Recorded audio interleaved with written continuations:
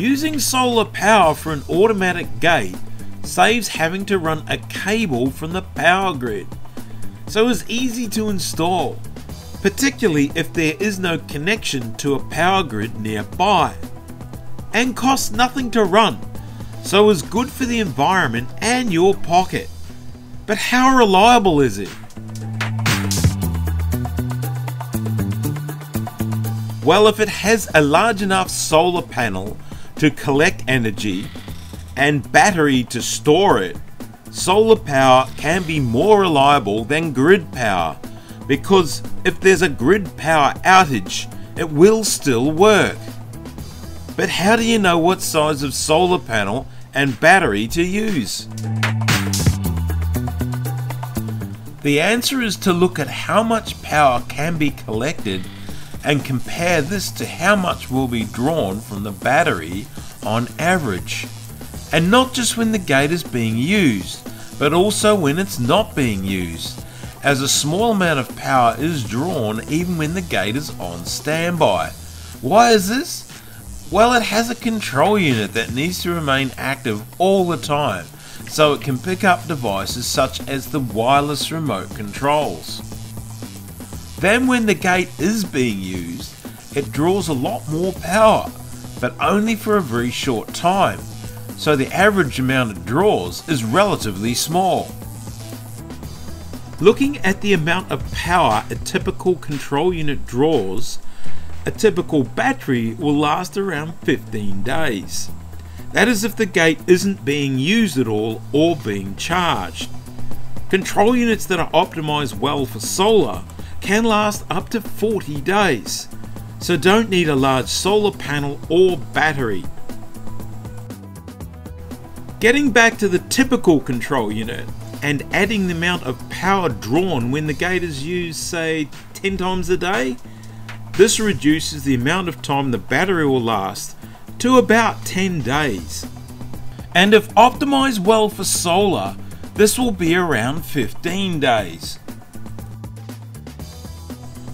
Now adding a typical solar panel to charge the battery, in full sun a whole day's power draw is recovered in less than 2 hours per day.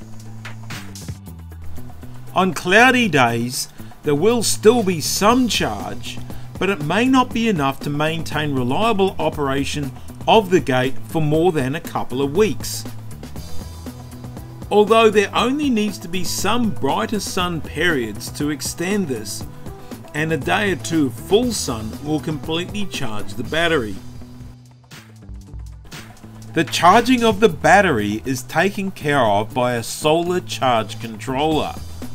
There are different types available from simple low cost controllers to more advanced but expensive controllers called MPPT that charge the battery more efficiently in cloudy weather.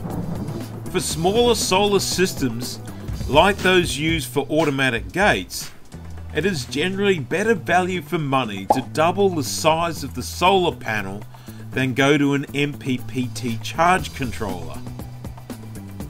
So if you're in a climate that gets no more than a week of dark grey weather in a row, a 20 watt solar panel and 9 amp hour battery will work reliably.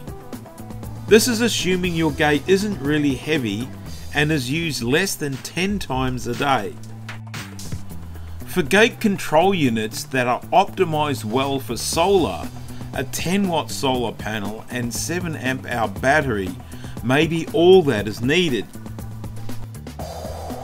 If you can get more than a week of dark grey weather in a row, have a larger gate, or the gate gets a lot of use, then a 40 watt solar panel and 18 amp hour battery or larger would be better.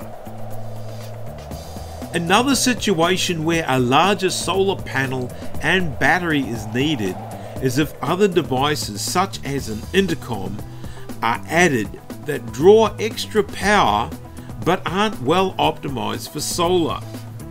To cope with this, the solar panel and battery need to be increased in size by an amount that depends on how much extra power draw there is. To find how much power a device draws, look at its specifications for the number of watts or milliamps it uses. If you can't find these, beg, steal or borrow a multimeter and connect this up to read the direct current milliamps the device draws. Every extra 25 milliamps of current drawn requires an additional 20 watt solar panel and 9 amp hour battery to keep the gate working reliably, and that's in a warmer climate. Double this for a colder climate, which is the same as 300 milliwatts at 12 volt DC. Devices such as safety photocells should be wired so they are powered up only when the gate is operated, so no extra solar panels or batteries are required. Some gate control units have a connection for this, but if they don't, there is normally a connection somewhere that can be used, such as a timed output for a light or lock. Devices such as digital keypads should be wireless and run off a battery of their own, so they don't draw any power off the automatic gate. These generally last 6 months to 2 years before the battery needs to be replaced. The charge controller must also be able to handle a larger solar panel.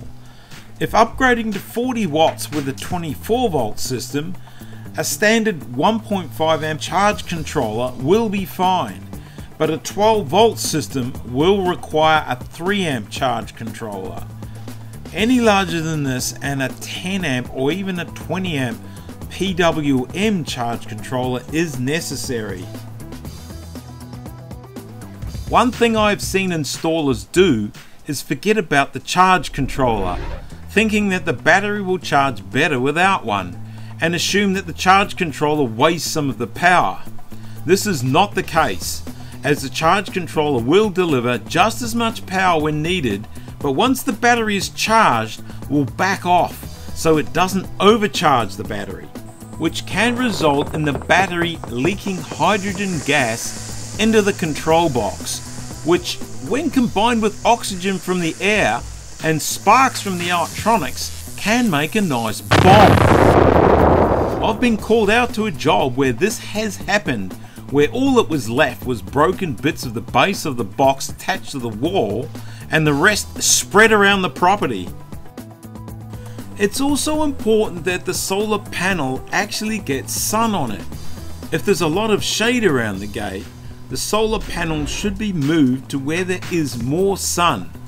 A low voltage cable can be run back to the gate. Sliding gates may also be solar powered, even if they are quite large gates up to 2 tonne. If you wish to learn more about automatic gates, there are more videos on my channel and many more to come. So if you want to see these, I invite you to subscribe. Thanks for watching!